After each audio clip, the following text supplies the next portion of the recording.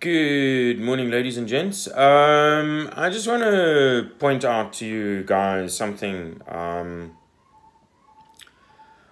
we, as a non profit organization, get approached every day to provide you with free legal advice. Okay, and psychological support and mediation and so on and so forth. Um, the fact of the matter is is that the government has institutions set up already to provide you that free service. Okay. Um, you can approach the courts for pro bono assistance um, and so on and so forth. The problem lies, guys, is that there is an issue. There is a direct and present issue. There is a disconnect between what the law says and what actually happens out there. If you do not have the financial wherewithal, it is very simple, and I'm sorry to point it out to you. If you do not have the financial wherewithal to go and fight this in court, you've got to use the law and you've got to use the structures that the government gives you to have your rights enshrined. The disconnect comes that, like I said, what is what it, what what is said in the law and what applies are two different things, and you guys experience that on a daily basis you guys suffer that disconnect. So, in order for an organization like Fathers for Justice, and guess what, guys? There's 60,000 other organizations out there, which fascinates me, with, you know, with one or two oaks involved. And what are they achieving? You know, if those 60,000 oaks just joined Fathers for Justice, and if you don't like the name, and if you don't like me, that's fine then let's change that. But the point I'm making is, is that there's 60,000 people all trying to do the same thing. If there was one organization with 60,000 60, people behind it, all pointing in the same direction that we all agree on. Okay. But I digress. The point I'm making is, is that you can come to Fathers for Justice and you can go to other organizations and they'll help you as best as they can, like I do. And I really put my time and my effort in to assist you guys. And I worked it out the other day that the amount of um, guys that I have actually doing consultations with, with me per month works out to 9 Rand and 10 cents an hour per month. Per hour per month which is less, it's half of the minimum wage. Okay, but I put my time, my effort, my data, my research, my empathy, my sympathy, my legal advice into the whole thing, heart and soul, and I get paid less than minimum wage. But yet, you guys are quite happy. In some instances, the, there's a there's a certain amount of you that are quite happy to literally go and waste six, seven, eight, nine hundred thousand, two million rand over a period of five years. But you you won't even pay me for uh, you know an hour's time to help you. We want to put a legal department together. How do I pay them, guys? It's got to come out of consultation fees.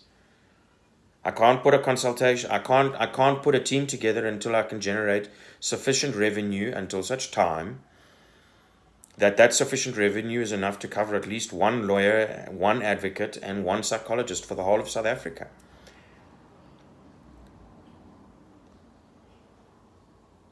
The only solution that I can see to change this whole thing is a class action suit.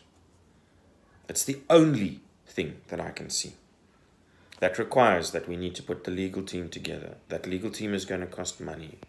those people are going to go to court. We've already submitted to the court. We, we've already said, sorry, we've already submitted um, and put the state president, the Department of Justice, the Family Advocate's Office, the Department of Social Welfare, etc., etc., etc., on notice over a year ago. And we gave them 90 days a year ago. You know what the government's response was? Okay, so now we are compelled to take the government to court to compel the government to respond. How much is that going to cost? Hmm? Then it needs to, so uh, sometime in the distant future, we will eventually get the, the, the, the, the government to respond. They're not going to respond. We're going to have to go to the Equality Court because by the time we go to the Equality Court, we cannot have the government turning around and saying, oh no, we didn't know about this problem.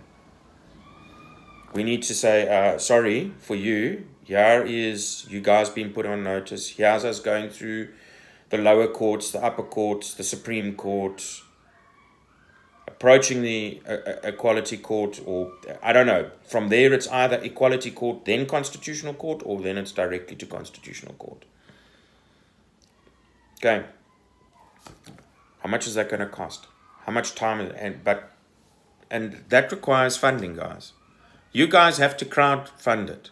I'm prepared to do the time and the and, and put in the time and the effort, but I cannot do it.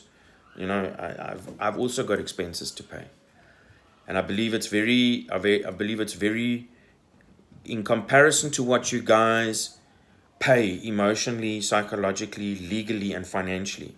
I believe what is being asked of you is actually actually not a lot of money in the greater scheme of things. Okay. So class action suit is there to change the fundamentals at a fundamental entry level. So we're not going to dispute did you or did you not have a child with this woman? Or did this woman not have a child with you?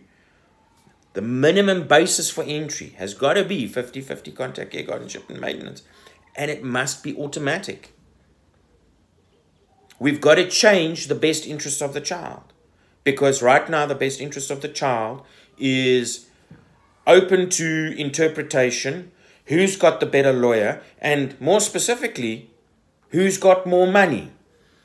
So the fact that you've got a pitbull of a lawyer that costs you hundreds of thousands of rands a, a second and he puts forward an argument that is not based in any form of reality, but his is the better argument. So we've got to put there that the best interest of the child is that the child must automatically have daily physical, emotional, psychological, spiritual contact care, guardianship, and maintenance with and by both biological parents at all times. Any parent, parents, or entity that attempts in part or in whole must, uh, to deny the child its automatic rights, must automatically be imprisoned uh, with the specific professional involved, whether it be a lawyer or a psychologist. They must also automatically receive a 25 million rand fine and be dismissed from their particular field of profession. So those are two things that we want that needs to be changed. Summarily removing the child from town, province uh, to another town, province, or or, or, or, or country. That must, unless you as the other parent give your specific written consent, it should be classified as kidnapping. And that parent should be brought back the the child should be returned to the original home.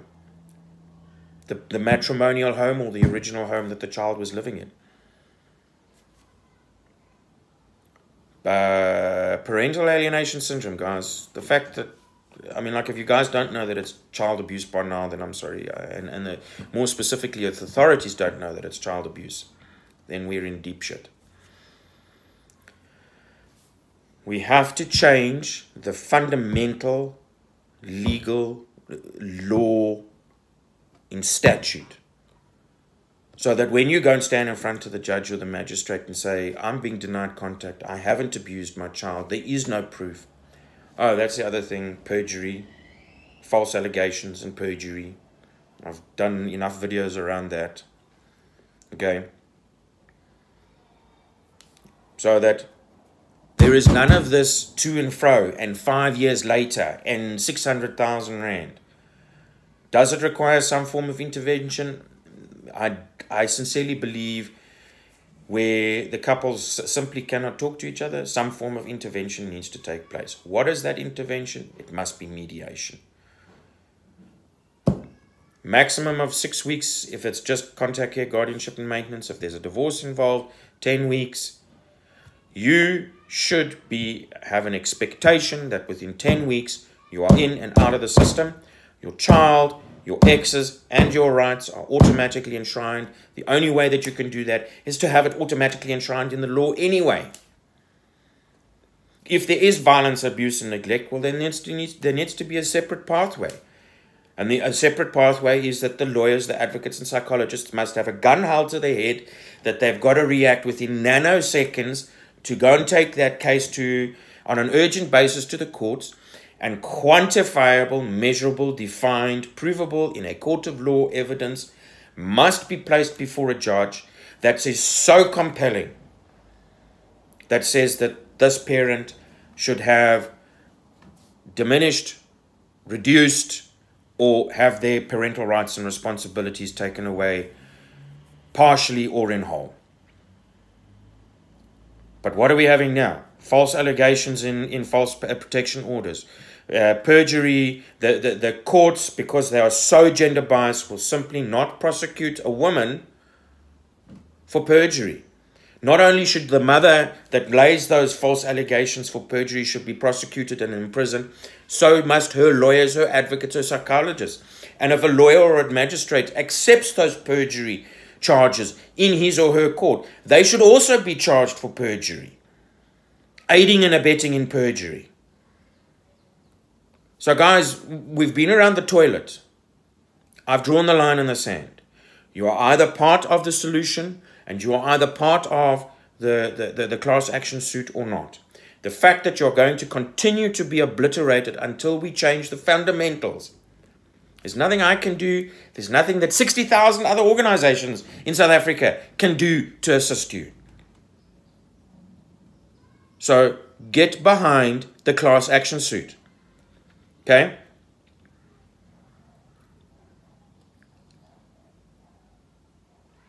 The ball is in your court. Join the class action suit. Like and subscribe on YouTube. Like and subscribe on Facebook. Like and subscribe on, on LinkedIn. Um, please uh, uh, put your payments through for the class action suit. Uh, uh if you want consultations, please contact me directly. Please do not go to Lee directly. You need to come to me first, and I will set up the appointments for you. Have a fantastic day. Love to you all.